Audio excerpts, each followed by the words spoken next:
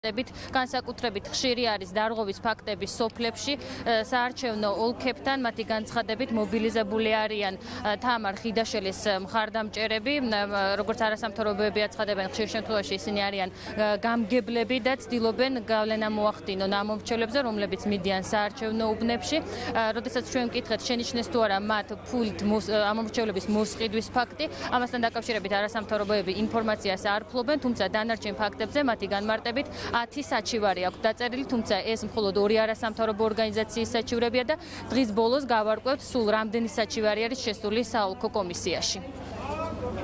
განსაკუთრებით თვალშისაცემი იყო. შემდეგი ტიპის დარღვევები, ეს არის საარჩევნო უბნებზე აგიტაცია, აგრეთვე საკონტროლო ფურცლის შევსებასთან დაკავშირებით იყო პრობლემა და საარჩევნო კოდექსის 71-ე მუხლის მე-10 პუნქტი დაირღვა და ამასთან დაკავშირებით შედგენილია საჩივარი.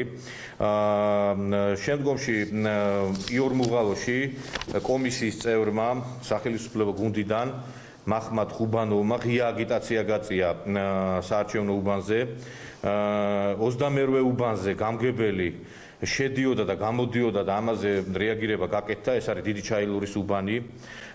გიორგი წმინდაში 10 კაციანი ჯგუფი შეზარხოშებულები იყვნენ და შეურაცხყოფას აყენებდნენ. ამ მომრჩევლებს რის გამოც ზოგი უკან გაბრუნდა და ამაზე რეალურად გარკვეული შეფასება გაკეთდა.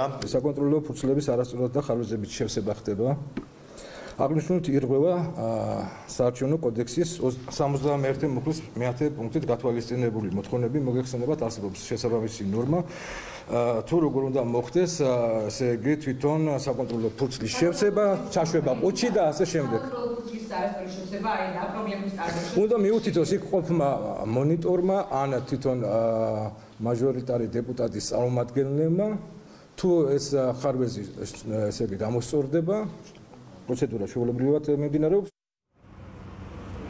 საგარეჯოში სულ 59 საარჩევნო უბანი არის გახსნილი, 46011 ამომრჩეველი არის დაფიქსირებული სიაში, რაც შეეხება დარღვევებს და იმას თუ როგორ ვითარდებოდა დღის განმავლობაში მოვლენები, ამას ჩვენ 8 საათზე უფრო დეტალურად შემოგთავაზებთ. გმადლობთ თიკა საგარეჯოდან პირდაპირ ეთერში თიკა ანთხულაძე საუბრობდა და დღის სხვა მნიშვნელოვანი თემები. მორიგი დაკავება ეგრეთ წოდებულ საზღვართან